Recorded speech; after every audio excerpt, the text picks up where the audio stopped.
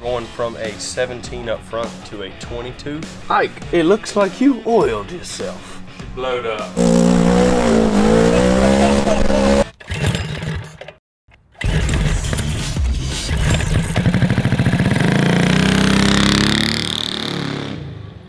What's up everybody? Today on Cars and Cameras, we're making some huge upgrades to our Suzuki GS450 racing mower. We're going to be installing front brakes, but probably none like you've ever seen before, to give the mower four-wheel brakes. We also need to re-gear it for much higher top speed, and adjust the steering, and make some other livability modifications to make it handle a lot better. And then we're going to be entering this thing into a burnout competition. So, let's get started. This is pretty wild. So it's not really common to have a go-kart with front brakes. Yes, there are a few out there, but we designed this thing uh, with without having front brakes in mind. But now we want to do uh, burnouts or and and also have better stopping power. So to keep this packaging with this six-inch wheel, we're going to have to go with something a little bit unusual. We're going to be going with drum brakes on this. So we got we got dropping stuff. We've got uh, these cute little uh, brake shoes. We're going to have to find a drum to go in the middle and we're going to have to attach it to the hub in here. And this is going to go right in here. Look, we're not even going to have to paint it. It's going to match perfect. And it's going to work, uh, I think, pretty decent. The next thing we're going to do is we're going to try to make the steering a little bit easier by moving this linkage a little bit further up towards the pivot point of this shaft. That's going to make the steering a bit easier, but unfortunately we're going to lose a little bit of our uh, drift angle. Uh, but I think that'll be okay. It's just a small adjustment and maybe uh, it'll be a, a, a good compromise. Something in between. Keep a little drift angle and lighten up the steering.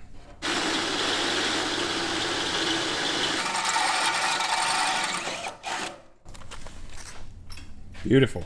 All right, so this is our current chain setup on this uh, racing mower that we have. We've used it on plenty of projects in the past, but unfortunately for this one, it's fixed with the only adjustability being this uh, rolling sprocket. So it's kind of it's kind of holding us back for a lot of gear changes. So we may have to. You may see a lot of a lot of rearranging of some of the stuff that we've done, but it's all it's all okay. Remember, it'll be fine once we get enough room and get it set up, we're going from a 17 up front to a 20 tooth, and then a 60 on the rear to probably a 54 from Go Power Sports.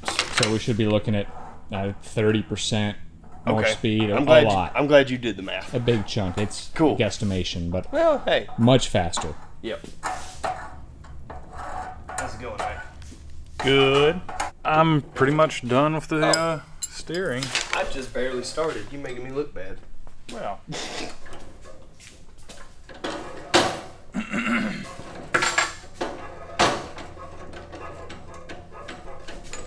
I think it'll be okay. If not, we can go up like maybe one more slot. Do I need to go ahead and pre-drill that hole, do you think? Not a bad idea. Yeah, cause Okay.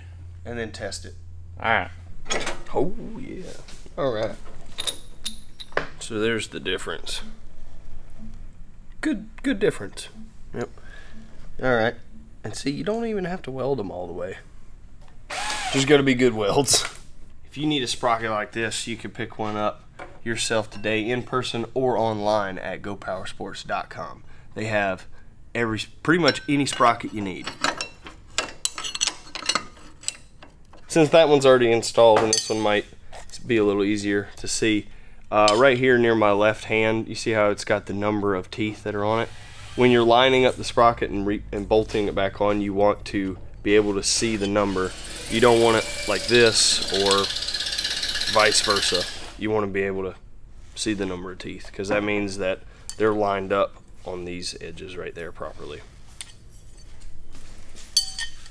Another good thing to do when finally tightening up your sprocket is to go ahead and wrap the chain a full full wrap around it so that way it kind of keeps it right where it needs to be right before you snug it down. Yep, sometimes you can have just a little bit of slop, and if you don't uh, get it perfectly lined up before you tighten it, you can have a little bit of excessive wear on your sprocket. So this is a good way to uh, make sure you your sprocket lasts as long as it can.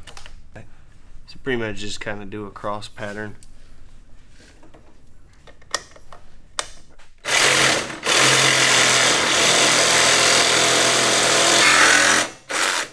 There we go.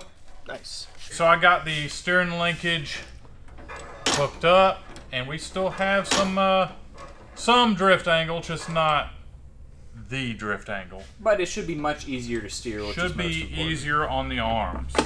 So uh, you guys are gonna enjoy driving this thing. Oh, you guys. Well, you know, it what didn't bother me. Uh huh. Uh huh. There's oil under the seat. From what? Chain? Uh, well, we did have an oil leak the last time we drove this. Oh yeah. Ike, it looks like you oiled yourself. Uh, there might have been a time or two. So now that the steering's done, I'm going to be working on the brakes. Um, so what I'm going to do is I'm going to drill out this hole, and I'm going to put it over the existing spindle, which is a 5 8 hole, and I need to come up with a drum. So I think I need to go to the metal shop and find a drum with the right diameter, and then uh, we'll use the lathe to uh, cut it out, weld a, use the lathe and make a nice drum for this brake. So You go to the metal store, or you could check the uh, staircase. Yeah, I see a little excess up there. the odds of it fitting are kind of slim to none, boys. I mean, I'll check. All right, we got about 12 inches of, uh, or more. Hey, it's really close. Is it? Oh, it's seamed, didn't it? It does have a seam. Hey, well. it fits perfect. Hey, even the, even if can- there's a seam, we got the lathe. Yeah, we can use the lathe to uh, to uh, cut it. So yeah, this will work great, guys. This is going to save us a lot of money. I don't know about time, but money. I jammed this thing up. How much of this should I cut off? Just Uh, enough for the drums, or uh, Well, you gotta take? Maybe like an inch extra in case your Yeah. cuts aren't straight. because we need to chuck it up in the lathe and get the tool in there to smooth it out for the width of the brake pad. I probably need to cut off as much as I can. Yeah. Yeah.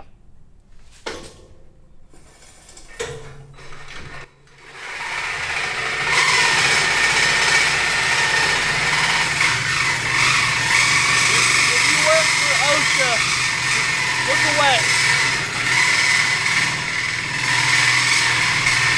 Okay, so here's our drum. Nobody And- died. Yeah, nobody got And hurt. the hood on the C10 is still okay. Yeah.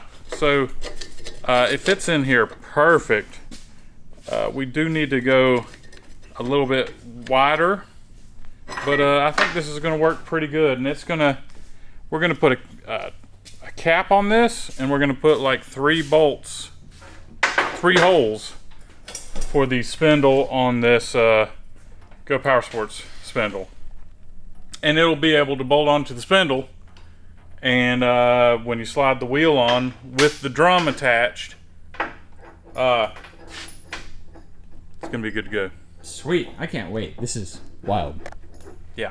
We're gonna tack in the, uh, I guess, the, what would you call that? Like the, s- the stop tabs for the backing plate of the rotor. It's basically what keeps the rotor still, or the the shoe assembly, the hub. Whenever you're ready. Go.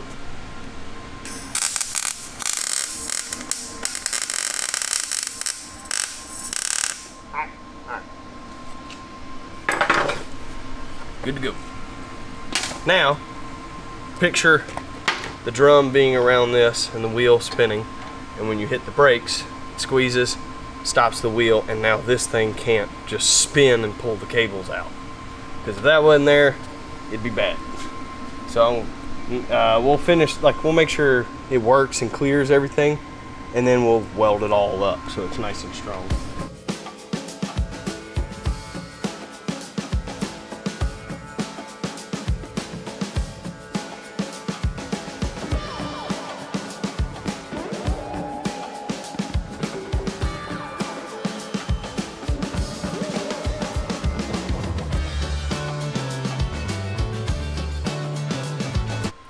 Interrupt this time lapse to bring you problems with the lathe, part four. We might fire it up again here in a second, but it's just been making a horrible noise. And we're not done with our brake drums yet. But you can see here's one.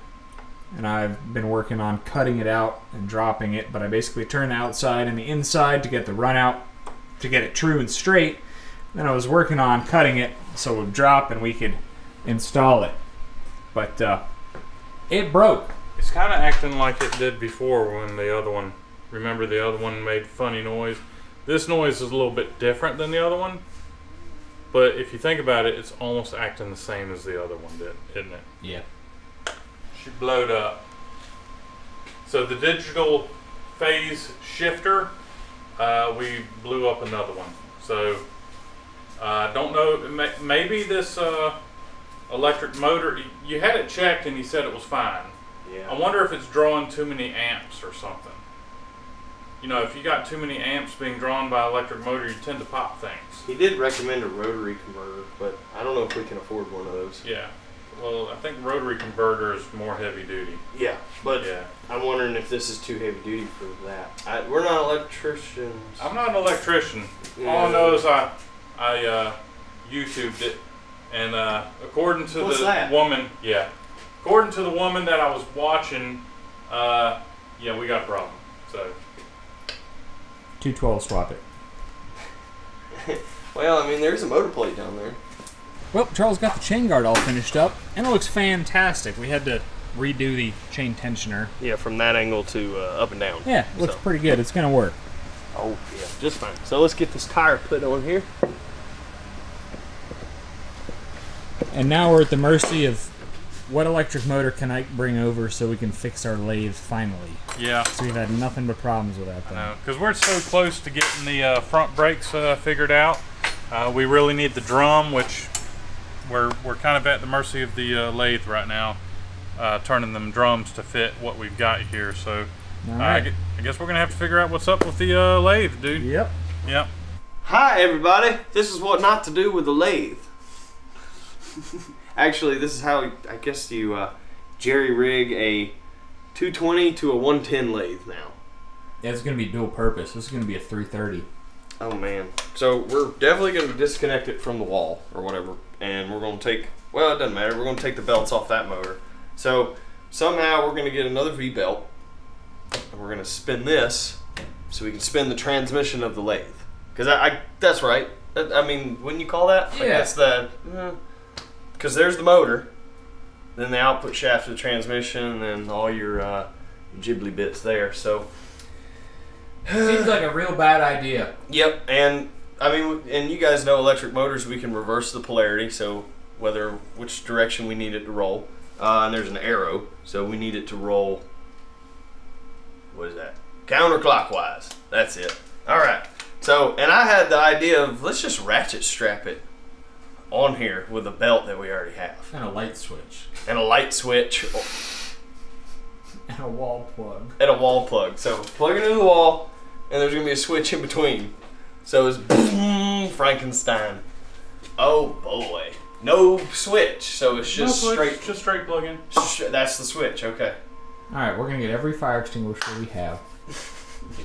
Look, I don't think a fire extinguisher is gonna help when the when the fire's in the wall. All you do is put this thing in low. It's not. That's right. Gonna, it's not going to lug the uh, the motor, and you just turn the transmission up until it seems like you found a happy spot. Okay. All right. Yeah. Cool. I'll go look for our V belts because I think we have some from All right. our alternator days. All right. Yeah. All you gotta do is take that one belt off. Yeah. On the Because it probably won't even hurt to spin the old motor. I don't think it would. I mean, but we are spinning the old old motor. So. But you know, as you can see, I can spin it with hand with my hand. And the reason why I do that is because we have another belt down there that goes to the uh, oil pump. Oh yeah, we should probably yeah. We're gonna run it on this external one. Yeah. Whatever you do, do not do this at home. I repeat. Do not do this. So let's see. Got like a motor plate with some washers holding that. Oh gosh, almost okay. Well, we're not we're not gonna worry about that. That's fine. Um, but I got a ratchet strap. You know, if you can hear that, let's see. Yeah, that ain't going anywhere. Uh, V belt. Yeah, this is the only thing I'm worried about right down there. Oh boy. But uh, what's worse that's gonna happen? It's gonna jump off there. But uh, I got the uh, the extension cord uh, wired in and secure. Now all we gotta do is uh,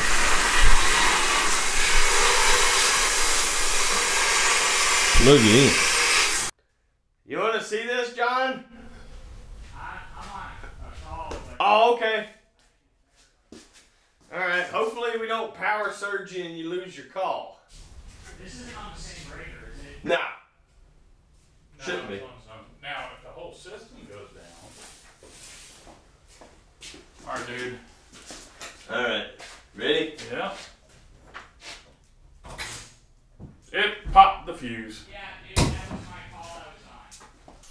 So for y'all that I don't know if y'all missed it, but um, yeah, we blew the breaker, blew the internet, shut down John's computer while he was in the middle of an upload. So uh, and a conference call. and a conference call. So that was uh, great. Now Charles, I'm plugged in across the shop, yeah. so we're on a different breaker. All right. Um, so I feel like Clark Griswold. so what happened? Maybe well, okay. So I think that black wire was in the wrong spot. electrical plug was it was wired up wrong. Maybe. All right, ready? Yep. Hey. Is it spinning? Yeah. Yay! It's working. Is it spinning the right way? I mean, I, I, no. It's not. So we need to reverse. We need to the, turn it around. No, we can just reverse the polarity on the, the two wires. Are you sure? Yeah, it's an electric motor. You can do that. That's DC voltage. I don't uh, know if it works for AC voltage. Well, then heck, how the heck? I'm gonna look it up. How are we gonna turn that motor around? I'll wear, I mean, I'll wear the newest welding gloves. Not that that's gonna stop electricity, but it might stop the heat if the if the wire glows red. Ready? Yeah. I knew it would work. Is it spinning the right way? Yes, it is. Cool. Okay. All right, let's see if the lathe works. All right. Holy, holy cow, dude! And it doesn't sound like it's binding. It's not under load yet. Well, it's fixing to be. Hey, should we uh, unplug the mile-long uh, extension cord and plug it into the wall? Yeah. Let me do that. Okay. Because it is bad to, uh, on electric motors, to be on a real long. No heat. Ready? Yeah. Yeah. Here we go. Belt slips. Put some silicone spray on it, so it should be okay. All right. Let's build some brakes. Back in business. Alright, watch out. I said watch out.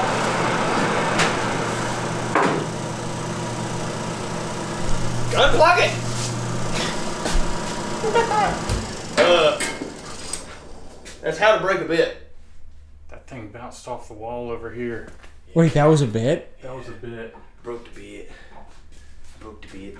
Is this one we get yelled at by the machinists in the comments? Oh, yeah. they're gonna we're getting yelled at for putting a 110 motor on this thing. So what I'm building is I'm building drums here. And these drums are gonna attach to our spindles right there. Um, These are the smallest bongos I've ever I seen. I know, right? So uh, I've got to tack weld it in several places, then I got to put it back on the lathe and make sure everything's straight. Because we don't want a, uh, Brake pulse. yeah. So I'm gonna just tack it in like three places, and uh, we're gonna check it out. Cover.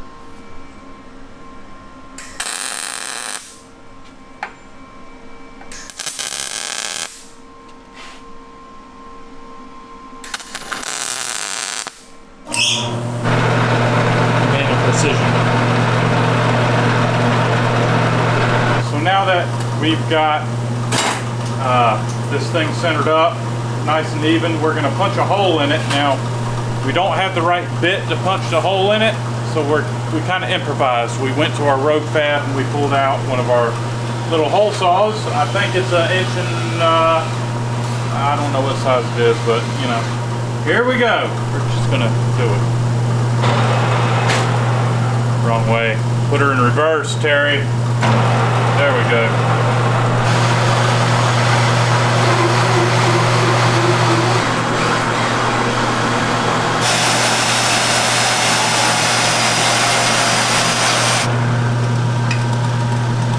There it is.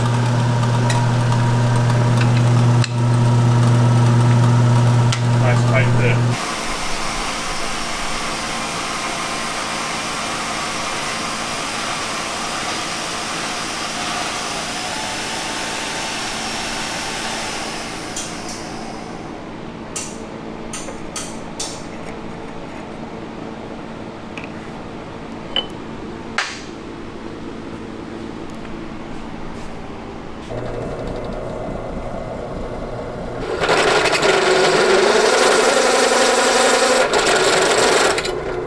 So I got the three bolt holes drilled on this homemade drum and we also got it welded the whole way around. Now we're going to be putting it back in the lathe and we're going to be grinding down uh, all the welds to a more smooth, uh, better looking uh, drum. And then we're going to go back on the inside and we're going to touch up the inside just in case it might be a little wonky. So we'll be uh, cleaning that up. You're wonky. You're wonky.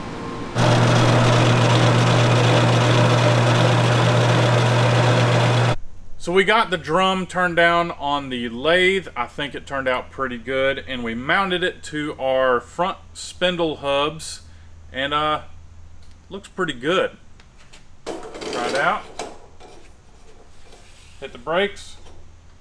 It works. So I'm pretty happy with this. What do you think? I like it. And then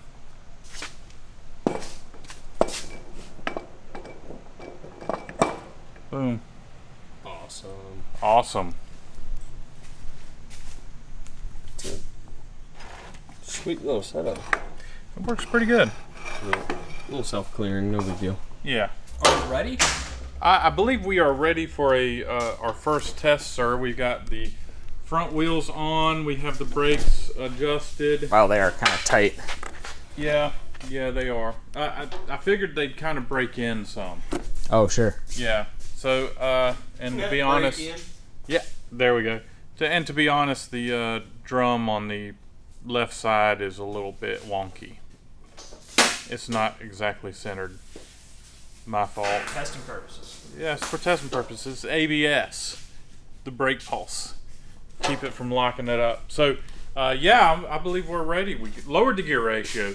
We've changed the steering ratio. We added front brakes.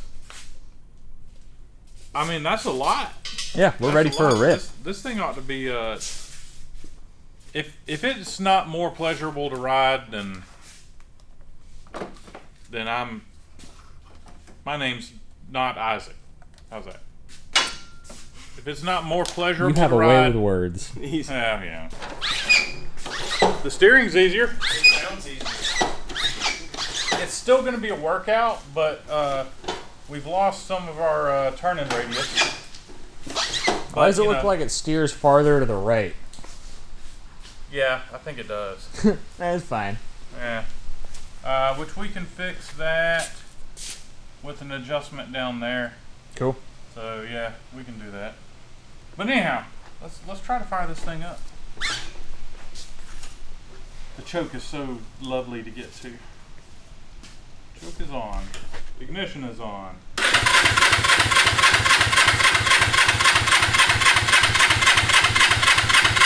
I see fuel moving through the uh, fuel line. Any second. And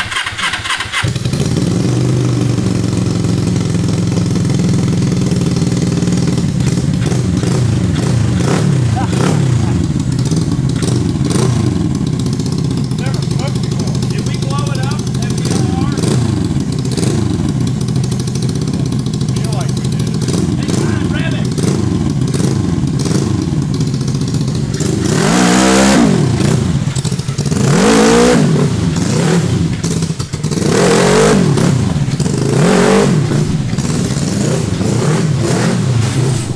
I saw a spark when he left the build, just one little spark.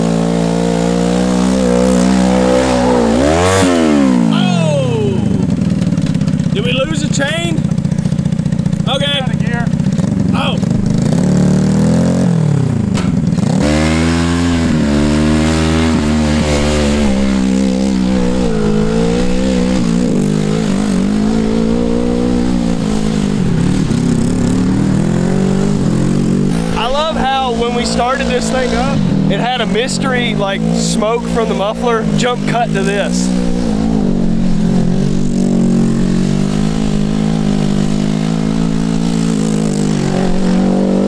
He's a madman.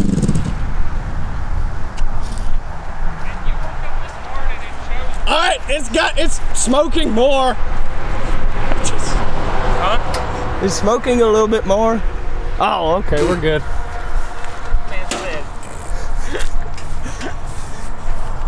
Cannot handle this thing. Really? Like the uh, the steering, I, there's hardly any steer. We're gonna have to do some adjusting. I'm just. All right. Well, uh, I feel like it is faster. It looks so cool. I like Yeah. it, dude. Hey, good job. All y'all, you missed job. a few spots in the yard, but I'll still give you 20 bucks there, kid. I was trying to I was trying to get it to spin around, do a 180 and keep going. It would not let you do a 360. Something about oh like no, I- it'll do 360. Oh, it Oh, did? but yeah, It was like something It's about so it. close. It violently like corrected you It's- or something. it's It- the uh, steering. that's. I hey, feel like I could have done it, but the steering. So Don't worry about it. Just Yeah. more RPM. yeah. So pretty cool, guys. I'm glad we I got like an air it. filter on it. Anybody want to try it? You look like you had some fun. For sure. A little dusty. That's all right. A little dusty. All right. Well, I'm gonna go down the road and check the top speed. Oh dear. All right. I mean, it was like 50 before. It's gonna be like 70 now. Well, I gotta cool this thing off.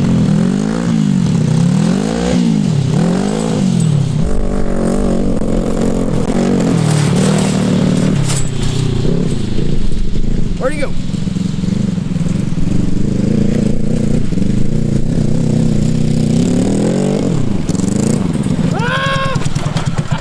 the steering went backwards Oh, a this split second. nice. I think I might have caught your panic face on camera. Ugh.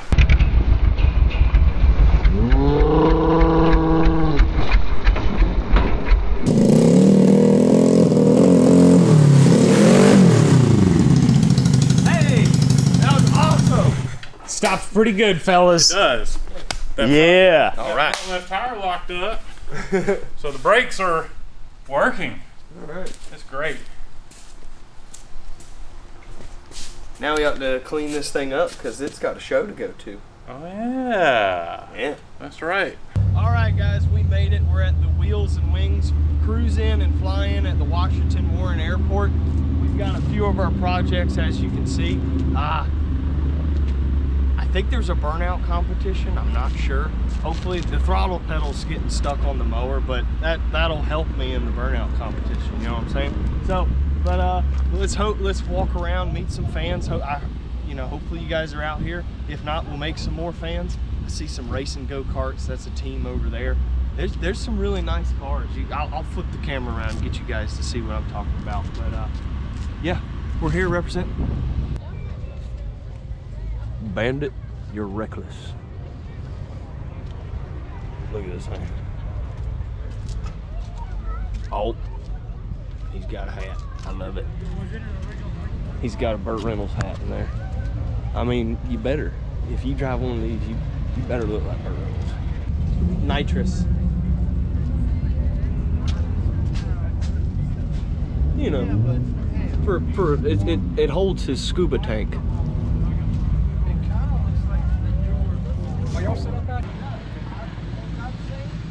Look, look who I found. Anything, any nice words for the camera? For the camera? Hi, John- guys. John can edit it out. John, this one's for you. BMW. I know you probably don't like this one, but I think they're going to be doing some parachuting. Look, look, look. See, that's a that's a wooden broom. That's that guy's a character. This is awesome. This thing is brand new. Like, it's perfect. 1973 Chevy Custom Deluxe. It's perfect. Look at it. It's perfect. These things are so cool.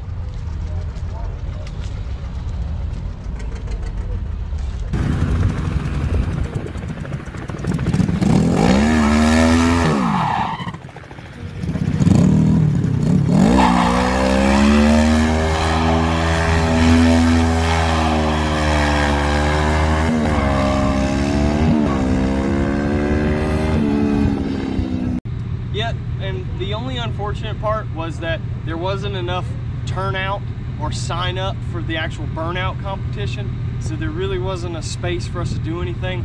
They did let us run up and down the taxiway a little bit.